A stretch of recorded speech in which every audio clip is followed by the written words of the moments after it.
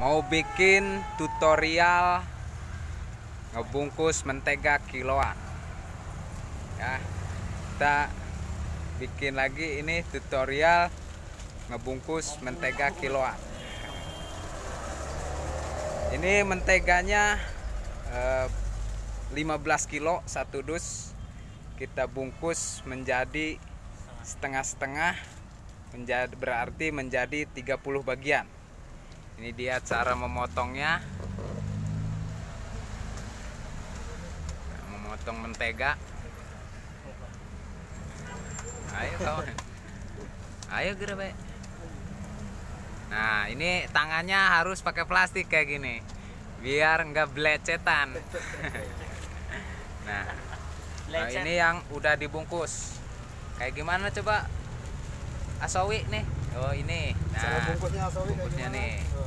pakai plastik 2 kilo ya. Dibelah. Nah terus diuntel-untel ujungnya kayak gitu. Dicolok ya. Dicolok. Nah ada suara pekok gitu. Nah kayak gini nih. Nah ditimbang. Ini timbangannya setengah kilo. Setengah kilo. Lebih itu. Ada juga yang ditimbang seperempat tapi lama bikinnya kecil-kecil. Pakai plastiknya ini ukuran 10 35 nah ini plastiknya. Pakai plastik PE ukuran 20 kali 35 ukuran 2 kilo. Dibelah ya. Dibelah. Nih plastik cara ngebelahnya. Coba gimana? Nah. Nah ngebelahnya kayak gini dibelah. Nah kayak gitu.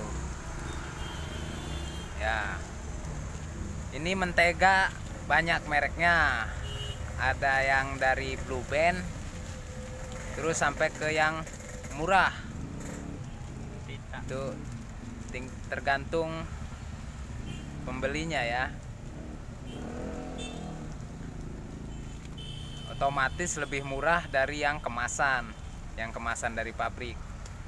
Kualitas sama aja. Kalau menurut saya sih sama aja kandungannya.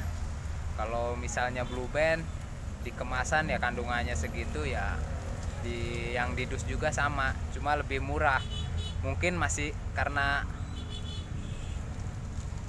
sati ranjang ini murahnya ya harus kemasin sendiri. Jadi lebih murah lebih ekonomis. Nah ini melahnya. Ini 15 kilo dibelah-belah.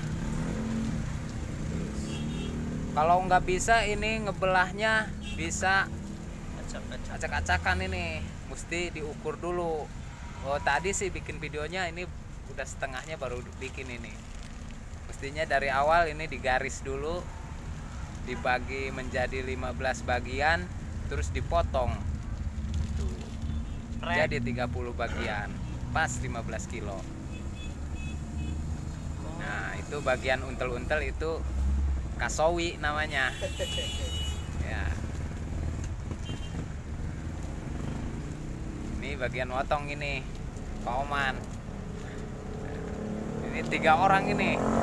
15 kilo ini tiga orang dirempuk ini nah daripada nganggur kan di toko nungguin pembeli jadi motongin mentega aja ini. Tapi kalau lagi rame saya saranin sih nggak nggak usah motongin dulu ribet masalahnya.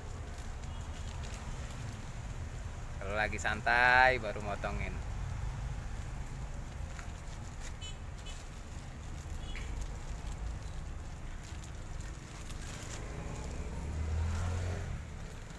Kurang tuh ya.